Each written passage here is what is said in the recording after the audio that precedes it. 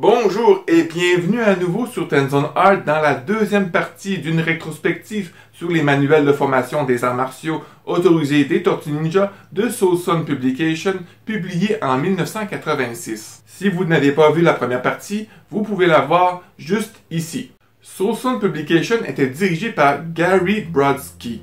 Fils du premier directeur de production de Marvel et encreur occasionnel, Sol Brodsky l'une des nombreuses sociétés créées pendant l'engouement pour les bandes dessinées en noir et blanc des années 80.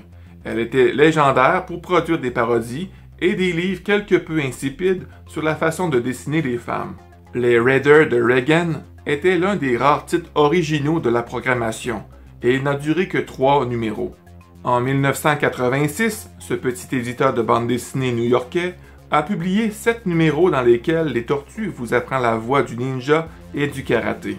Après avoir exploré trois numéros précédemment, je vous présente maintenant les quatre numéros restants dans lesquels chaque frère tortue vous enseigne l'art de son arme personnelle.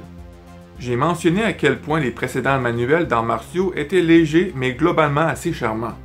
C'est spécial de pouvoir voir les Tortues Ninja si tôt dans leur carrière de bande dessinée et être dessinés par des artistes autres que Kevin Eastman et Peter Laird. Ces numéros couvraient des positions très basiques et des origines culturelles mais ce sont les numéros 2 à 5 où les choses commencent à devenir assez sérieuses. Commençons par examiner les pages couverture. La plupart des numéros sont dessinés par les créateurs eux-mêmes. Le numéro 2 et 3 vous disent peut-être quelque chose. Vous pouvez retrouver ces images dans des anciens numéros comme le Fujitoy de 1985, une publicité placée à la toute fin du numéro pour des t-shirts faits par Mirage Studio. Petite anecdote, une erreur d'imprimante est survenue pour certains numéros 2, causant ainsi une image avec des couleurs complètement différentes. Aujourd'hui, ces numéros considérés comme une erreur a plus de valeur que le numéro original.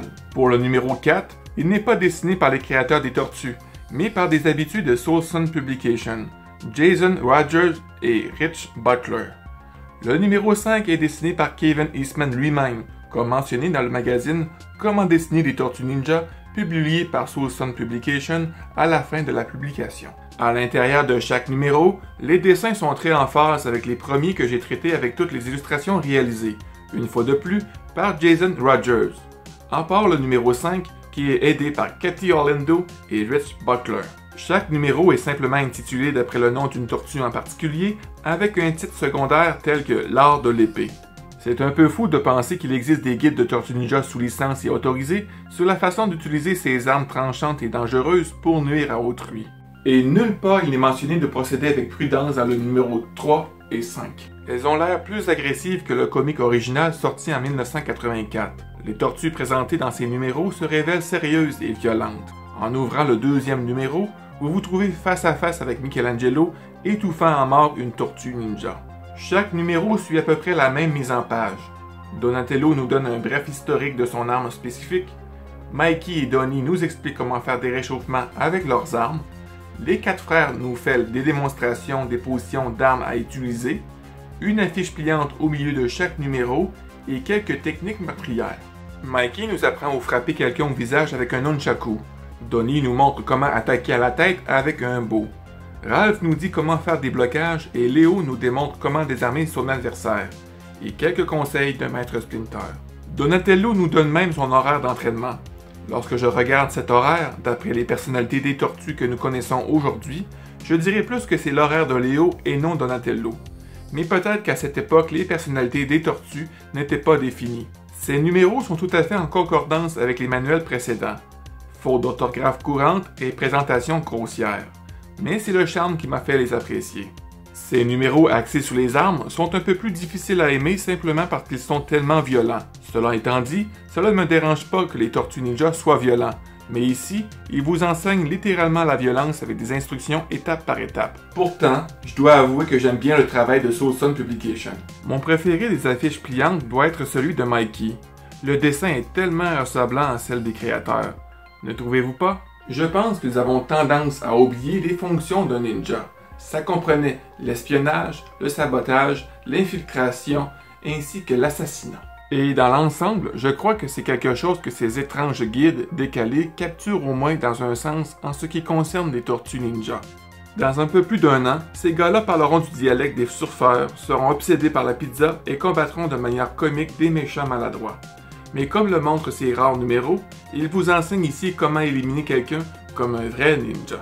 Je pense que c'est une représentation juste de ce qui fait des Tortues Ninja une pierre angulaire pour tant de fans. Depuis 37 ans maintenant, ils ont eu tellement d'interprétations et de réimagination qu'il y a des générations d'enfants et d'adultes qui ont leur propre version. Et ces manuels autorisés, bien que anodins, capturent les tortues juste avant qu'elles n'atteignent leur célébrité animée. Si vous vous trouvez une convention au sur eBay et que vous les voyez à un prix décent, je les choisirai pour le pur facteur de nouveauté. Des numéros à ajouter dans votre collection. En conclusion, les manuels de formation des arts martiaux autorisés Teenage Mutant Ninja Turtle ne peuvent pas remplacer de véritables leçons des arts martiaux authentiques. Ces manuels sont étranges, étrangement violents, remplis de fautes d'orthographe, mais t'es pas là pour ça. T'es là pour voir les Tortues Ninja en action. Et cela étant dit, ce sont des manuels cool à regarder. Ce sont d'excellents démarreurs de conversation sur les forums et entre fans. Parfois, il suffit de prendre les choses comme ils sont pour en profiter. C'est tout pour aujourd'hui. J'espère que tu as apprécié la vidéo. N'oublie pas de mettre les pouces bleus, de partager en grand nombre l'information pour faire connaître davantage la chaîne, ainsi que de t'abonner pour ne rien manquer. Sur ce, mon ami, je te souhaite une agréable journée. Sois prudent parce que tu es important et on se dit à la prochaine vidéo. Bye bye.